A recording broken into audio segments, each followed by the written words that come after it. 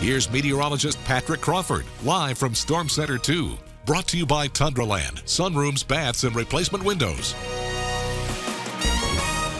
Hi everyone and welcome back. Starting out your Storm Center 2 forecast with a look at the weather headlines. It is May but not feeling that way tonight. Well below normal temperatures in the forecast and we're going to be below freezing for an extended period of time. So that means a freeze warning which has been issued by the National Weather Service from midnight all the way until 8 a.m. for your Monday. But after the cold start I think it's going to be a mild Monday with sunshine and high temperatures getting close to our average high which is 63 for this time of the year. As far as active weather we should be quiet for the start of the work week. I think we could see maybe a spotty shower chance on Wednesday, and then higher rain chances we'll be getting here by the end of the work week and into the start of the next upcoming weekend. But here's a look at all the areas that are included with this freeze warning. That's the purple shading that you're seeing here on the map. That light blue shading out to the west and southwest, that's the frost advisory. We had that last night and early this morning, but now we're dealing with the freeze warning where temperatures are going to be below freezing for an extended period of time. Temperatures already dropping very quickly. We've got three ingredients that are working against us tonight.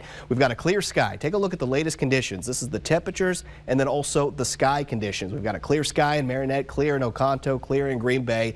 So we've got that clear sky. So temperatures are going to be cooling very quickly. We also have low humidity and the lower the humidity that also adds to the quickness of the temperatures dropping and then we have light winds and so therefore that means that air is going to continue to fall as far as the air temperature into the morning. So I think low temperatures likely very close to 30 degrees for most of the area. But even up north, we're looking at temperatures down into the low to mid 20s to begin Monday. So it's going to be a very cold start for this time of the year. We know it can get colder here in Green Bay and northeast Wisconsin, but it is going to be a cold start for this time of the year tomorrow morning. But let's talk about some good news as we examine your high temperature trend over the next seven days. We're going to continue to stay near that average high of 63 for the work week and even into the start of the weekend.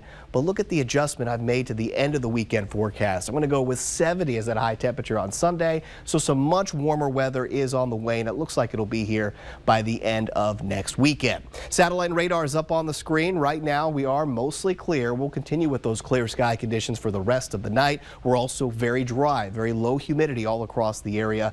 And again, those are the ingredients that I was talking about that are going to allow those temperatures to cool down below freezing for most of the region. I'm going to go with a range of about 25 to 34 degrees, 34 right there along the lake shore, but the rest of the area in the 20s and low 30s. Protect those cold sensitive plants. Bring them indoors if you can, into the garage, into the shed, whatever you got to do to protect that vegetation because the temperatures are going to be very cold to begin your Monday. I'm going to go 28 in Shawano and Waupaca, 32 in Appleton and right down to 31 degrees in Green Bay. We'll start out with sunshine for your Monday, maybe some stray cloud cover into the late afternoon. I think most of the rain for your Monday is going to stay just west of the viewing area.